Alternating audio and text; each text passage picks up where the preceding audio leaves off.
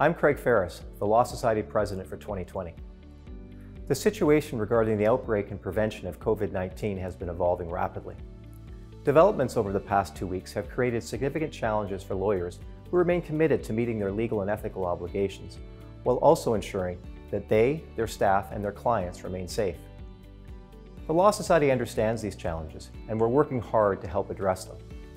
Since the Provincial Health Officer declared a public health emergency, the Law Society initiated a review of the rules, code, and our regulatory requirements to find creative solutions that are within our authority.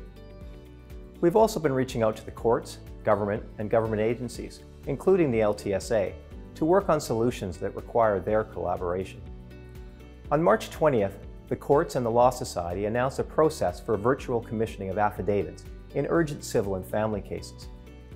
On March 22nd, we implemented changes to swearing declarations and oaths for our own application processes, and we extended the deadline for filing trust reports. We also consulted with the government, and we're pleased that the government has decided to suspend statutory limitation periods during this crisis. We've also reached out to the LTSA about adopting measures for executing land title documents that are similar to the processes that the court has outlined. You may be facing other challenges that require our attention. Practice advisors within the Law Society remain available to take your emails and calls. I encourage you to check our website and the dedicated section for COVID-19 information that can be accessed through the homepage. It's updated frequently, so please check back regularly.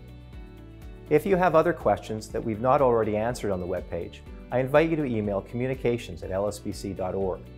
We're committed to getting through this together. Please stay safe, protect yourself and everyone around you. Stay home as much as possible and follow the provincial health officer's directions. Thank you.